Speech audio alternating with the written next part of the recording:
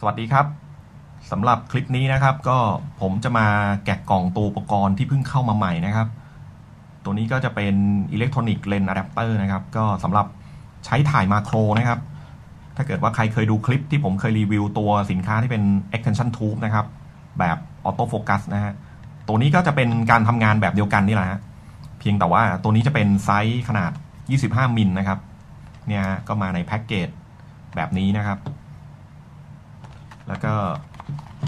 มาดูกันนะครับว่าในกล่องมีอะไรนะครับ อุปกรณ์หน้าตาเป็นยังไง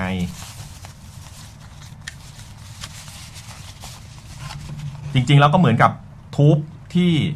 เป็นชุดใหญ่นะครับ แต่ว่าอันนี้ก็แยกชิ้นมานะครับ ก็จะเป็นขนาด 25 มิลนะฮะเนี่ยครับ แล้วก็มีฝาปิดหน้าหลังมาแบบนี้นะครับ แล้วก็เหมือนเดิมนะครับว่าตัวอุปกรณ์เนี่ยก็อย่างที่บอกนะครับ มันเป็นระบบอิเล็กทรอนิกส์นะครับ นั่นหมายความว่ามันก็จะรองรับเรื่องของ auto focus ได้อย่างสมบูรณ์แบบนะครับ ตัวนี้ก็จะเป็น mount Canon นะฮะเนี่ยก็จะมีขั้ว contact แบบนี้นะครับ ด้านหนึ่งก็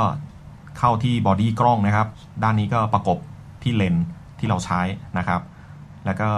สามารถที่จะทำให้เราเนี่ยสามารถเข้าไปจอ เข้าใกล้กับวัตถุนะครับ ก็สามารถที่จะถ่ายมาโครได้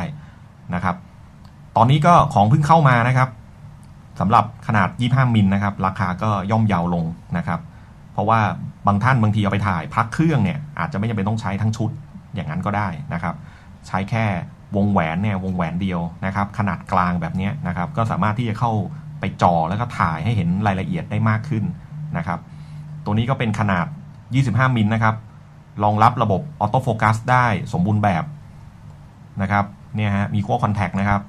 แล้วก็ยังคงมีตัว tripod mount นะฮะสามารถไปหมุนเข้ากับขาตั้งกล้องของเราได้นะครับ แล้วก็เรื่องของการวัดแสงเรื่องของรองรับระบบกันสั่น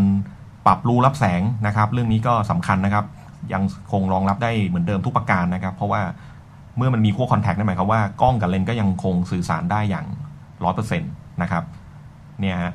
ก็ตอนนี้ของเข้ามาเรียบร้อยนะครับสำหรับผู้ที่สนใจนะครับ ก็สามารถทำรายการสั่งซื้อได้ในเว็บไซต์ anyexposure.com นะครับ ขอบคุณมากครับ